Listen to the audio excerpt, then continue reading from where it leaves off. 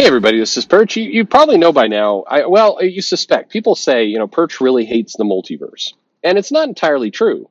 I don't mind the multiverse. In fact, I, I do like a lot of the stories that came about from that era.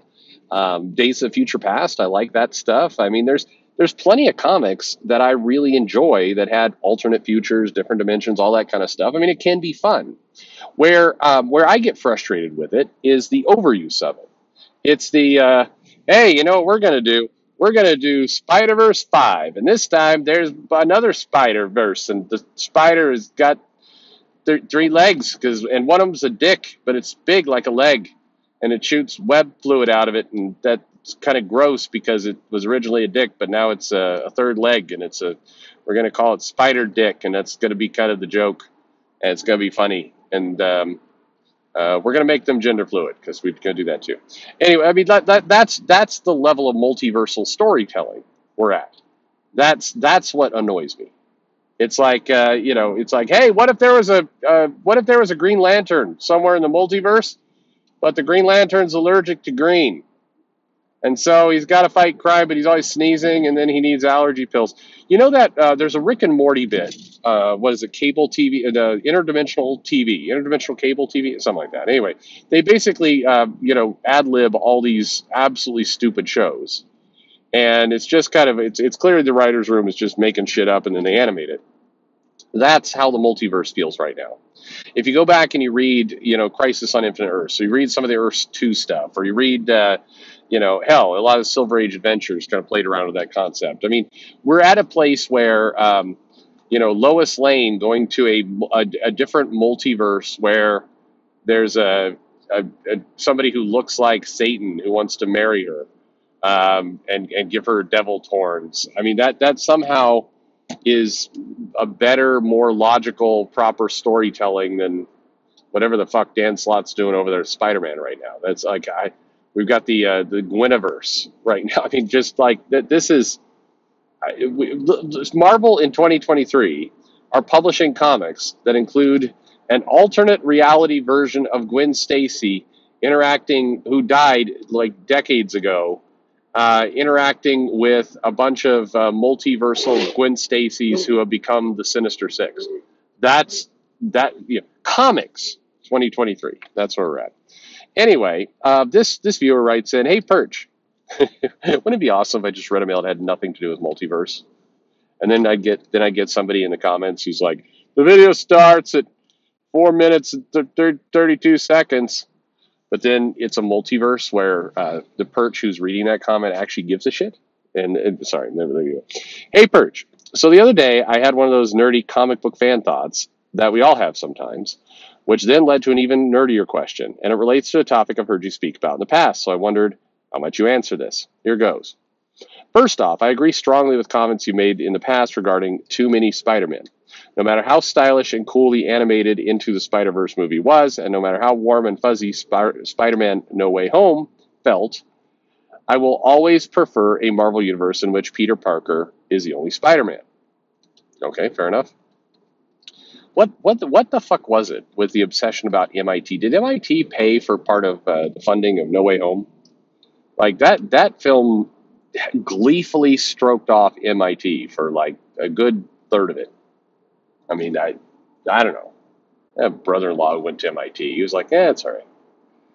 Anyway, but the other day, back to the mail, I ran across some more of the Spider Verse stuff, and I'm seeing all these different, ridiculous multiverse versions of Spider Man. And my immediate reaction was, holy shit, it's like they're trying so hard to be epic that they made it stupid.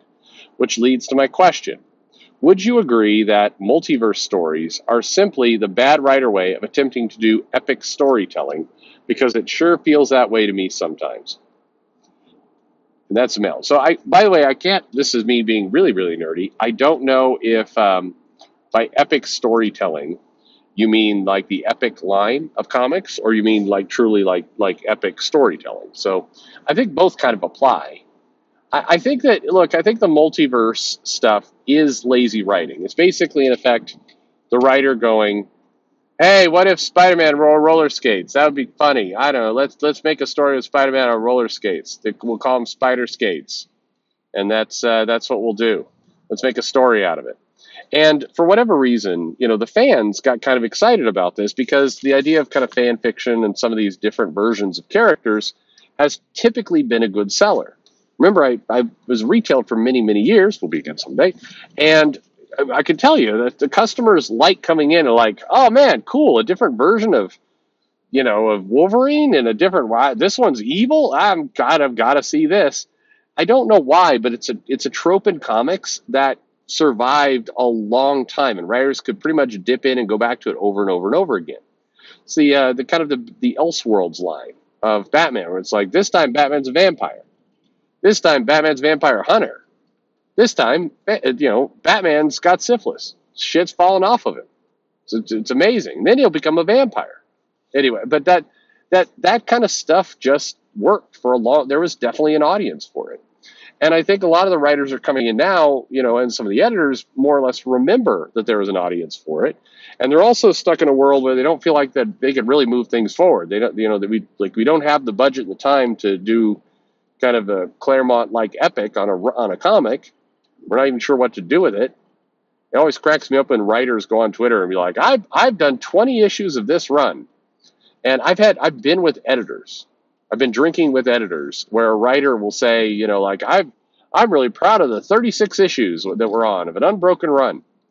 This happened. Uh, I was sitting with an editor and um, Ryan North, uh, you know, made a tweet basically of like, I'm really proud of this long run, and the editor's like, oh shit, we're still doing that comic.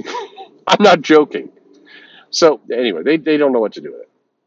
It's fine. I, I do a lot of videos where it really comes across like the editors are terrible, and and that's not fair. There's there's several good editors. There's several editors who are just like way overworked, and they're they're just they're busting their ass for sure. There are also editors that are absolutely phoning it in, and um, you know, asking what the definition of pale is apparently.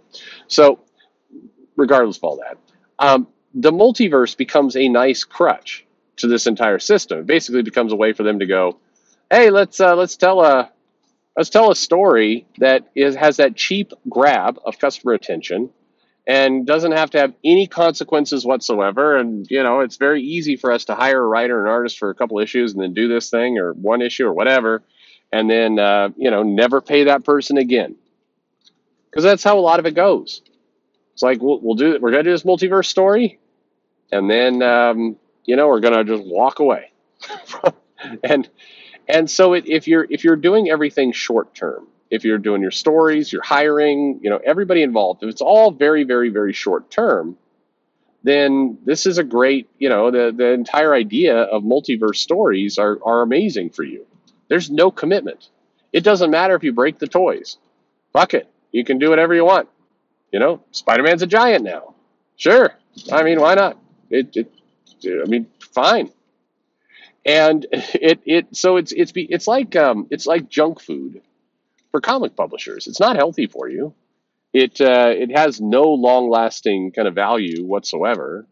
It's uh, it's one of those things where you know you you you read it and it's disposable and you forget about it seconds later. But you know it it does have that draw. I this is going to be true. People who are comic book fans do like to like what if so I what if the comic was popular, really popular for a long time? Is like what if, you know, what if uh, what if Thor got everyone pregnant? Would they shoot lightning out of their ass? I, what, what would happen? I don't know. We got to find out. There is that there is that sense of of curiosity in comic fans to see how the story would be if it went a different way. It's kind of just to nature, and the comic publishers have pilfered and taken advantage of that. But yeah, I think I mean there's a lot of kind of epic edge lordy type behavior that goes on with uh, with the multiverse, and a lot of stories are written that way. But probably, in my opinion, the, the biggest one is just, you know, not really, not be, it, it gives you a free pass to not give a shit. That's what I think. Anyway, let me know. Do, am I off base here? Do you agree? Disagree? Let me know in the comments below. Uh, like and subscribe, of course, as always.